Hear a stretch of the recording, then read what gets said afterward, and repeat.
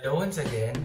My name is Wilbert Wong, bakery technician for Luzon of Pilmico Foods Corporation, the makers of Wooden Spoon All-Purpose Flour and Sun Moon Star Bread Flour. For our panadhero recipe, the ube bun overload.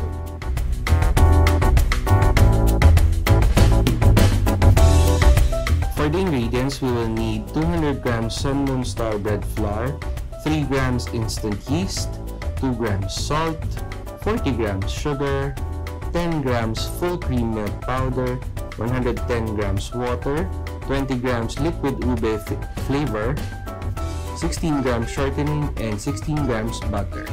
I've already prepared the filling in advance.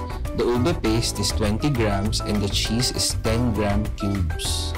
I already put the cheese inside the ube paste so that it will be easy to pick up. To start, load the instant yeast to the bowl followed by the bread flour, then the salt, then the sugar, then the milk powder. We then combine the water with the liquid ube flavor. Using a dough hook, run the mixer at the lowest speed to mix the dry ingredients, then add in the liquid ingredients.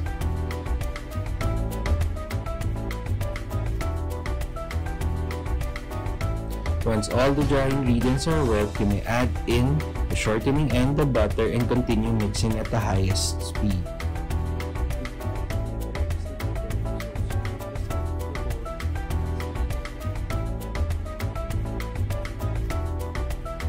Continue the mixing process. As you will see in this part of the mixing process, the dough will start to clump up together. The dough will be sticky, but there is no need to add any flour. You will notice that the dough has started leaving the bottom of the bowl. Very little dough is now sticking. This also means that your dough is almost developed.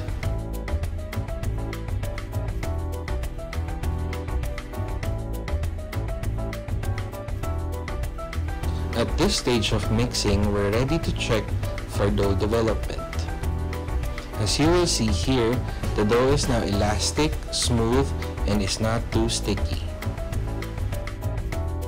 We may now divide the dough by 35 grams.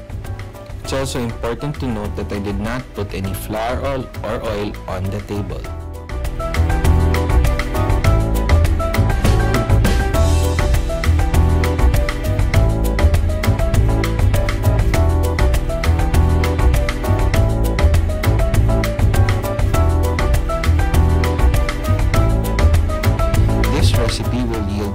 12 pieces of 35 grams.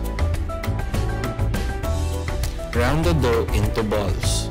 This will ensure that your buns will have the same thickness all throughout the sides. Rest the dough balls for 15 minutes. We're now ready to fill our dough balls. Take a dough ball, place it upside down the table, widen, and then put the filling inside, cheese side down.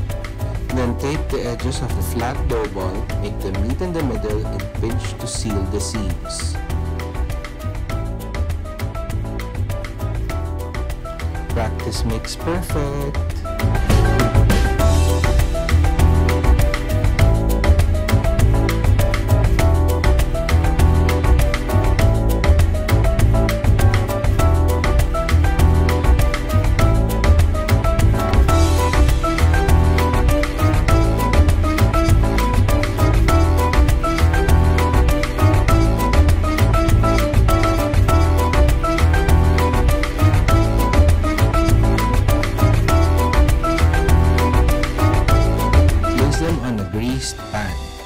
Rest them for 35 to 40 minutes in a container where there is no moving air so that the skin will not dry up.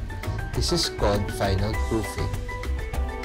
Bake in a preheated oven at 180 degrees Celsius for 25 to 30 minutes, then cool on a rack. But wait, we're not yet done. Pipe our spread some cheese spread on top and dip on some ube-colored toasted desiccated coconut.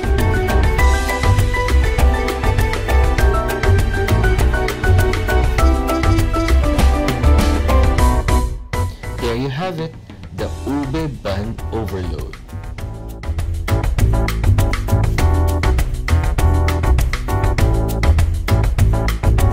Hope you liked that recipe.